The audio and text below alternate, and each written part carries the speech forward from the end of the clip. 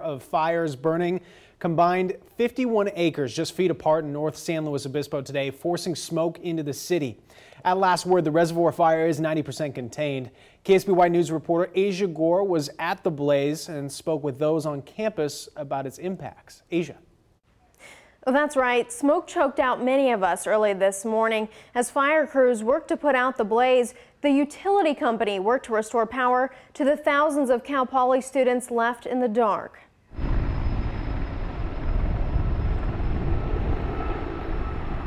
Two separate fires, as you can see behind me, we do have two separate fires. Twin blazes broke out Saturday morning in Cuesta Park, smack dab between Highway 101 and Cal Poly campus. The nearest home is probably uh, within a thousand feet or so of the fire. While we do have homes in the area, we didn't evacuate anything because we have this good defensible space around the homes, the dirt roads and the, and the fields and that kind of stuff. High winds, typically an ingredient for fire disaster, actually lent crews a hand. Normally wind is a bad thing in a wildfire situation and this one because of the way it started, the location that it started in, the wind coming down canyon here off the range is actually benefiting us. It's slowing the progress of the fire uh, so it's kind of backburning on itself. But as a result, smoke pumped into San Luis Obispo. I woke up and I walked outside. I thought I smelled something. I thought like the neighbors were barbecuing or something. I wasn't really sure. I was like, whatever. I didn't really notice it until I when I was like in the gym. I got a text on my phone saying they contained the fire, and I was like, oh. Ogle got to the gym to find it without power.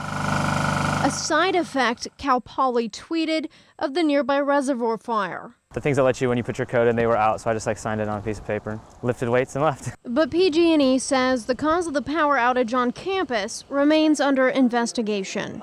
Week of welcome events continued without much interruption, giving new students both a welcome to school and the Central Coast fire season.